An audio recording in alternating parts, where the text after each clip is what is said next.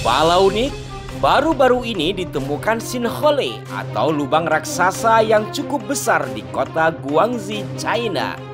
Lubang raksasa sedalam 192 meter dengan lebar 150 meter ini ditemukan pada kedalaman 190 meter.